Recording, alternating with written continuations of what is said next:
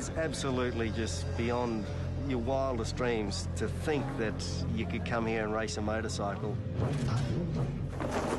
The Isle of Man TT is like a religion. It's the oldest motorcycle race in the world. You can stand on the footpath and you could literally reach out and touch the riders going past at close to 200 miles an hour.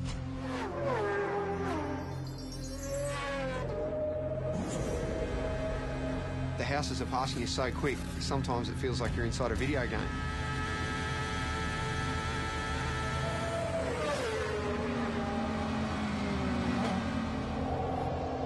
It's frightening. It's damn dangerous and it stresses me out.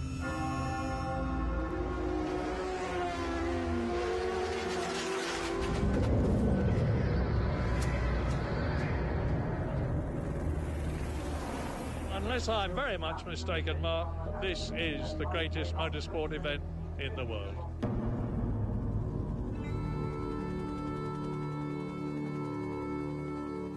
Between Ireland and Britain in the Irish Sea sits the Isle of Man. A sleepy tax haven for most of the year.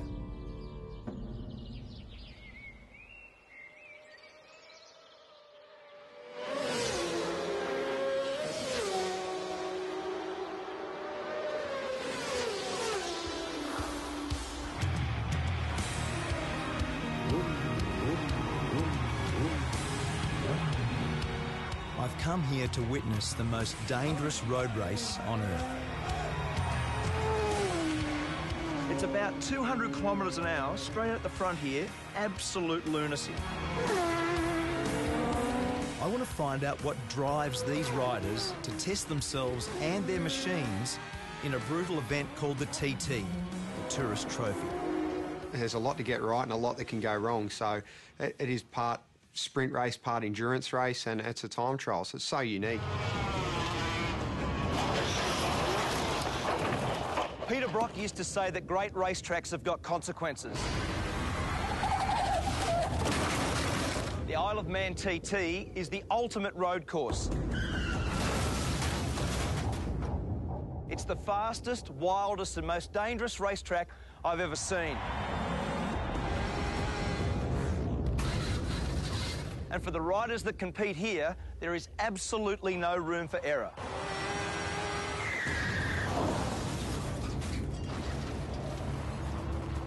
In its 104 years, 234 riders have died.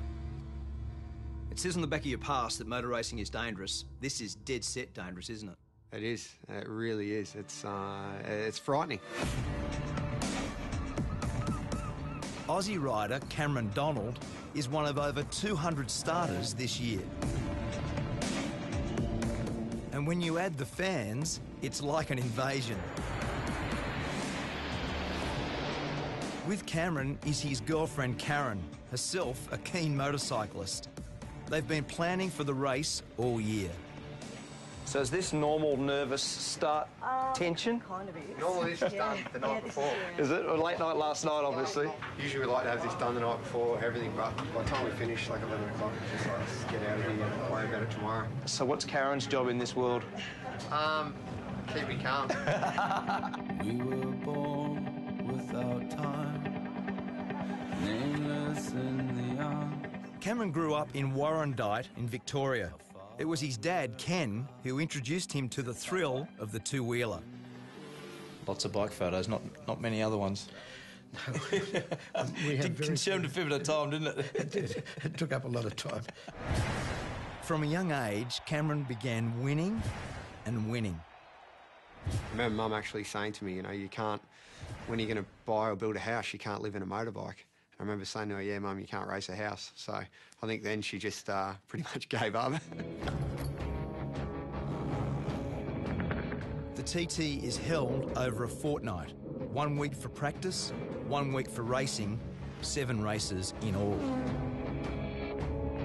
And in between, the public can go flat out, no speed limit on the Island Road course. Everyone that races here knows the dangers and they accept them and they do their best to ride accordingly. But I think it's sad in this world that we're all so wrapped in cotton wool these days and there's so few opportunities to do anything dangerous. For Cameron, a plumber when he's not racing, there's no event bigger than this. Riders set off at 10 second intervals. It's all about the fastest lap of the island, and that's what makes it so pure and so dangerous. You sit on the start line, you're looking down that first hill, and uh, because it's not a mass start, you're sitting there getting waved off one at a time. The, the pressure on you, you know, everyone's looking at you, and it's uh, it's a rush I've never had out of any other any other race.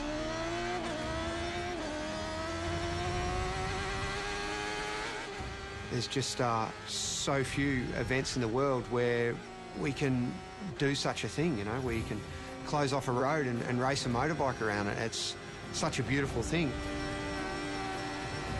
61 kilometres of public roads.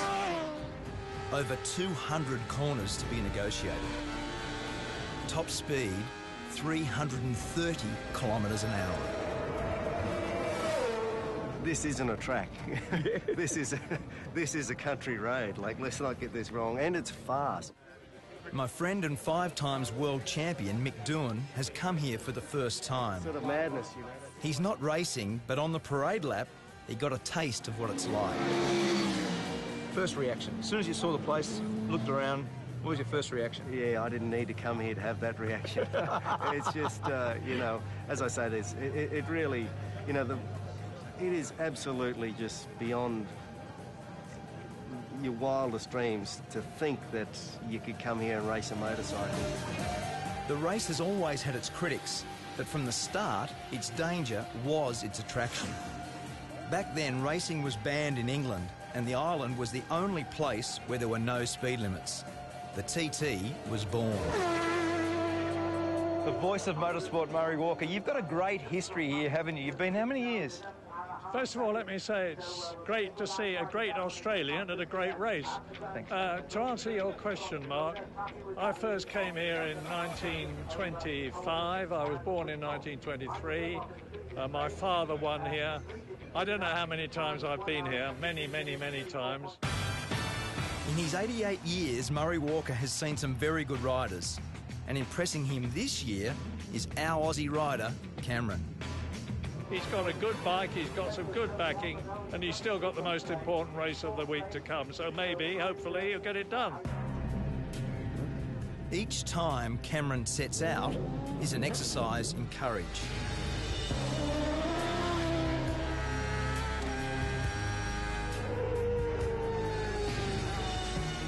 Each lap is an anxious one for Karen, who gets radio updates on his progress.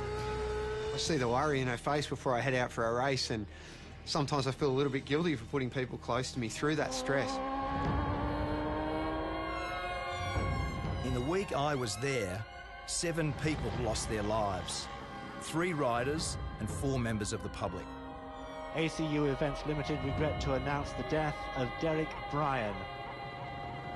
I've lost a, a, a couple of friends in, in my years racing at the Isle of Man, and I do think of them in the corners that they've uh, they've fallen in, and uh, where Dobbsy crashed is one of the most intense corners on the track.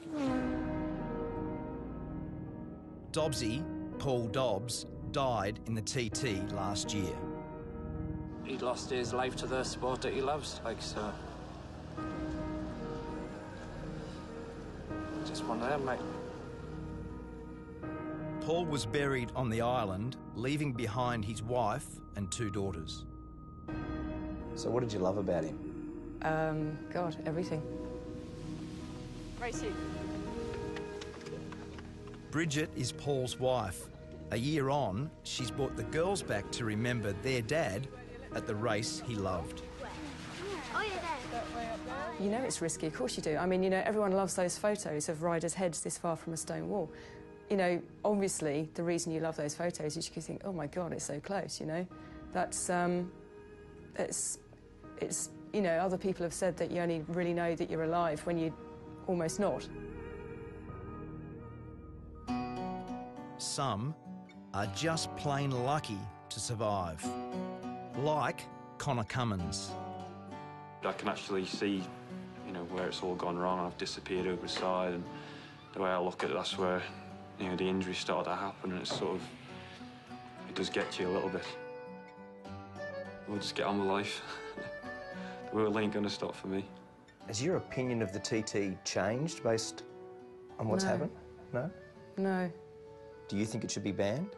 you can't possibly ban it. I mean, I, I, I don't, I don't know if you could ban it if you tried. It's, it's like a monster, you know. It's, it's bigger than the rest of us. Riders don't come here for the prize money. There's hardly any. The TT is simply about the glory of being the fastest. And for Cameron, it was a glorious week. In his chosen race, the Superbikes, he was just pipped for first. But second still felt pretty good. Congratulations, mate. Well done. Really good, huh? When will you settle down and stop doing this? I don't see it too far away. I never saw racing the Isle of Man as a long-term prospect because, look, it is so dangerous, and I do see it as a numbers game. If you keep coming back, sooner or later, um, I see it's going to catch you out.